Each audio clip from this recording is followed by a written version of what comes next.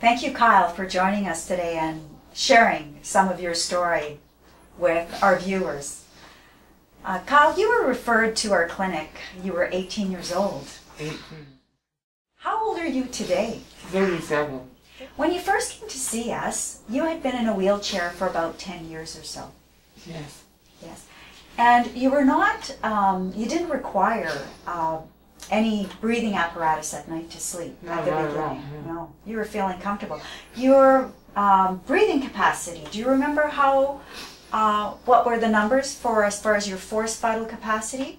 I think at that time it was around 50%. I think it wasn't until you were 23 that you required uh, ventilation at night. Yes. Um, do you remember some of the symptoms you felt um, that probably led you to require breathing uh, assistance at night?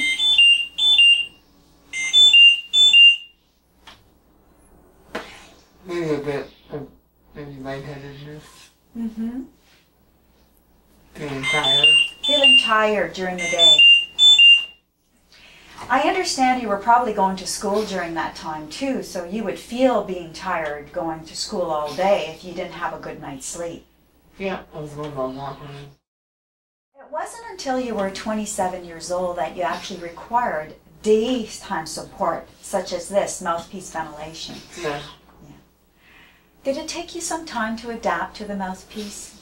It wasn't too bad at all. Like, nighttime was a lot more difficult adjusting to the, the, the right mask that worked best for me. I remember I was really worried about going to university because I know what it was going to be like. I thought it was going to be like maybe too difficult for me.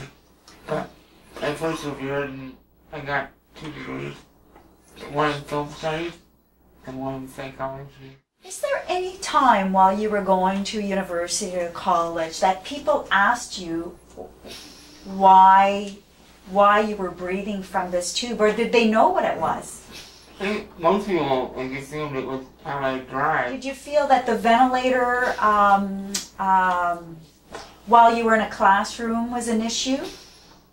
Only when it when it but it was kind of funny to get people would freak out and I get a good laugh because I knew there was nothing to worry about.